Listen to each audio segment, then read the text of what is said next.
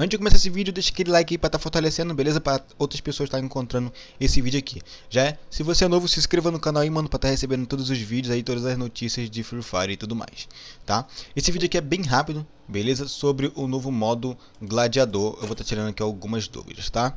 O modo gladiador, tropa, é, no momento ele não é permanente, tá? Ele abriu hoje, dia 6, e vai estar tá fechando no dia 10 ok? Uh, outra coisa também que tem algumas pessoas perguntando, mano, se tem como jogar com duo, tá? Se tem como jogar com seu amigo aí, beleza? Bom, tropa, no momento não, tá? No momento não, tá? Se você encontrar algum vídeo ensinando, é mentira. Não tem como jogar, beleza? Só se lançar algum bug, né? Se lançar algum bug, vai ter aqui no canal pra vocês, mas eu acho um pouco difícil, tá? Eu acho um pouquinho difícil aí, mas vamos esperar. Beleza? Como o, o, esse daqui é novo, é modo novo, ainda não tem quase nada, a gente tem que esperar.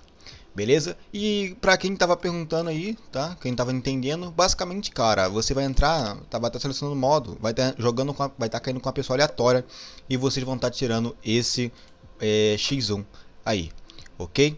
Bom, basicamente é isso. É um vídeo bem simples, tá? Só pra estar tá explicando pra vocês isso aí, que não é permanente por enquanto, não tem como jogador beleza?